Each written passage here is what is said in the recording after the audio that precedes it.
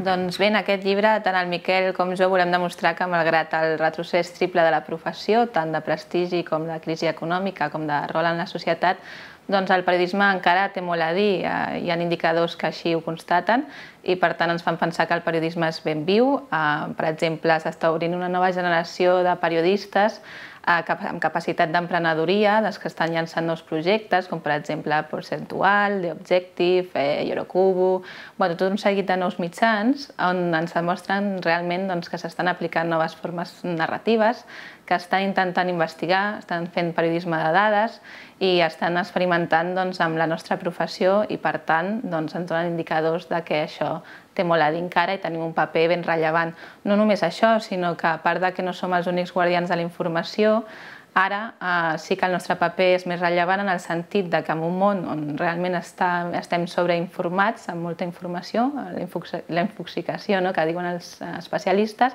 doncs el nostre paper de ser aquests eh, contextualitzadors, de jerarquitzar la informació i de donar aquest valor afegit és eh, un moment doncs, on és més necessari que mai. A més, també tenim l'oportunitat d'arribar a nous públics, a públics joves que consumeixen la informació d'altres maneres, bàsicament a través d'agregadors de contingut i de xarxes socials, i per tant doncs, ens obre un escenari realment amb moltes possibilitats i amb una veu doncs, que ha de ser primordial i prioritària. Realment les vies de monetització de la informació són diverses i variades, són compatibles i han de ser combinables entre si,